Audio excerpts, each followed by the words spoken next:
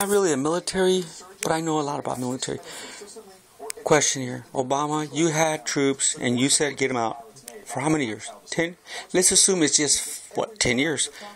How many, what, miles have your Humvee, the Humvees of the American people, been put in every day? If you send them out on patrols, 30 miles. And assuming the vehicles cannot travel very fast in off road terrain, what is the amount of maintenance? Perfect. One. Second, how many Humvees have you ordered since 10 years?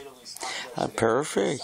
Now ask you another question. How many Humvees have been damaged? And how many, well, if you send them out and you spread them out, how do you supply them with fuel if fuel is very heavy? And well, you have a lot of convoys being destroyed. So you have equipment and then you have other equipment being destroyed. How many will you need? Weapons. How many weapons, if you have weapons, would you need when they're firing rockets from far away? And your bullets are well, M16s compared to their bullets that could go further. So that means you're going to get killed before you even reach them. Perfect. So if you're far in a campground and you have radio and you don't have batteries, what is the amount of time before the batteries get wasted? You see how these people are set you guys up, troops? They fucked you. And I would ask all these questions, but you know, I was asking, but they came to shut my, my army. Well, my daughter broke her jaw because they say, Cata la pinche boca. No, I told them I'm not afraid, dude. You can do whatever the fuck you want. That's your job, dude.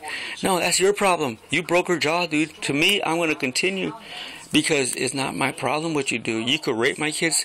You know what? If the troops want to help, fine. But uh, well, maybe I'll save one. No, until you kill me, then you shut me up.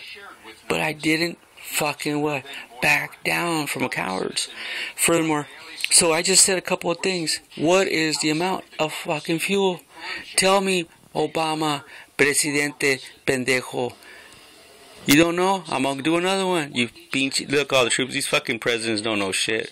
How much fuel and what is the amount of equipment and supplies you would need to keep one Humvee and assume you're going out on patrol every day.